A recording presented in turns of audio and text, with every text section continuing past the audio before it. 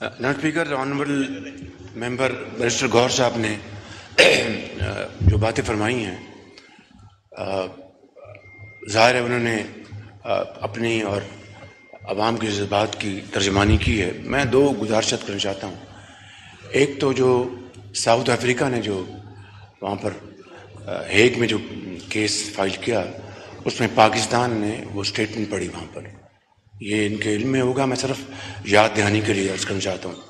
Number दो, इसी मौजू के ऊपर फ़लस्तीन में जो बरबरीत का बाज़ार गर्म किया गया है एस कॉन्फ्रेंस जो अभी हुई कजाकिस्तान में तो वहाँ पर स्पीकर मुझ नाचीज़ ने इस हवाले से जो ख्यालात का वहाँ पर इजहार किया, मैं I don't to speak for myself वो अच्छा नहीं लगता, लेकिन मैं ऑनरेबल मेंबर की गुजारिश करूँगा वो अगर मेरी स्पीच पढ़ लें तो उनको पूरा अंदाज़ा हो जाएगा कि मैंने अलहमदिल्ला हतुलमकदूर फ़लस्तनी भाइयों और बहनों का मुकदमा वहाँ पर पेश किया और उसको भरपूर तौर पर वहाँ पर मैंने जी राजा परवेज अशरफ साहब।